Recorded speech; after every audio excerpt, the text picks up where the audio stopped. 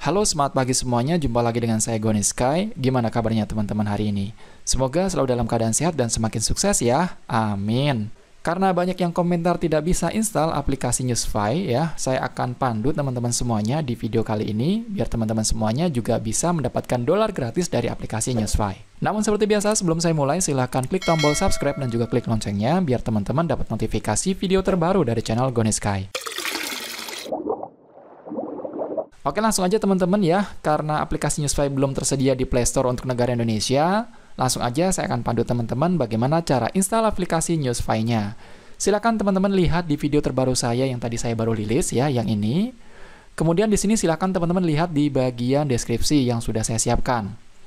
Pada deskripsi ini sudah saya siapkan panduannya dari 1 sampai dengan 5. Silakan teman-teman ikuti step by step-nya biar teman-teman juga bisa menginstal aplikasi Newsfy-nya. Oke? Kita langsung masuk aja di nomor yang pertama, yaitu kita tap atau klik link yang sudah saya siapkan ini. Silakan teman-teman tap juga ya, seperti ini. Jika muncul seperti ini, langsung aja pilih dengan Chrome nggak apa-apa ya, seperti ini. Lalu teman-teman tunggu sebentar, maka secara otomatis ya, ini akan mendownload file yang sudah saya siapkan ya. Jadi link ini tidak bermasalah teman-teman ya, ini secara otomatis akan masuk. Dan ini tadi juga filenya sudah saya update lagi untuk mempermudah teman-teman semuanya menginstal aplikasi Newsfy, teman-teman.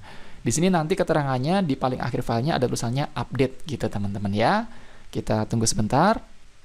Oke, ini sudah selesai di-download ya. Sampai sini jangan buru-buru teman-teman buka dulu ya, karena ada langkah kedua yang harus teman-teman lakukan, yaitu bisa dilihat kembali ya.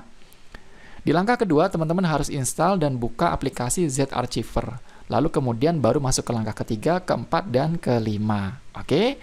Nah, sekarang kita buka Play Store-nya. Silakan teman-teman install aplikasi Z Archiver seperti ini. Jika sudah diinstal, langsung aja tekan tombol buka. Kemudian teman-teman tekan folder download yang ini. Lalu sampai sini teman-teman tap yang ini ya, yang file yang tadi sudah di-download ya, yang ini. Lalu kemudian tekan ekstrak di sini. Ditunggu sebentar, nanti akan muncul keterangannya file seperti ini. Oke, nah jika sudah, teman-teman tap lagi di sini seperti ini, ya, lalu tekan install. Dan akan muncul keterangan ya, Anda ingin menginstal aplikasi ini. Ya, langsung aja teman-teman install seperti ini. Oke, ditunggu sebentar. Oke, aplikasi sudah terpasang teman-teman. Sekarang silakan teman-teman buka aplikasinya. Kita lihat ya. Nah, ini dia teman-teman. Ada ya aplikasi Newsfy. Tinggal buka di sini. Atau kalau misalnya tidak muncul di sini, teman-teman bisa lihat di bagian ini. Di Files, terus kemudian tekan aplikasi. Lalu teman-teman cari aja aplikasi bernama Newsfy. Nah, yang ini. Tap di sini. Lalu teman-teman bisa tuh langsung buka. Oke, seperti ini contohnya. Saya buka ya. Oke, berhasil teman-teman ya. Caranya seperti itu. Kemudian teman-teman langsung aja nih sign in menggunakan Google. Kemudian pilih aja Google yang mau dipakai yang mana ya. Saya contohkan seperti ini.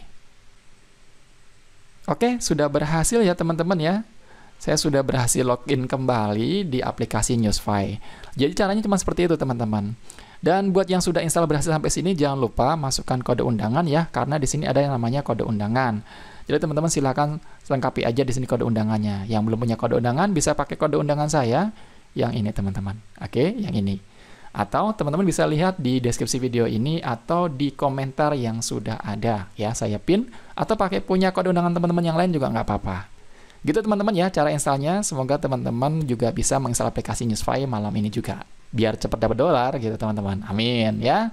Dukung terus channel Goni Sky dengan cara subscribe, klik loncengnya, like, komen positif, dan share video ini ke siapa saja yang membutuhkan. Sampai ketemu di video berikutnya ya. Thank you.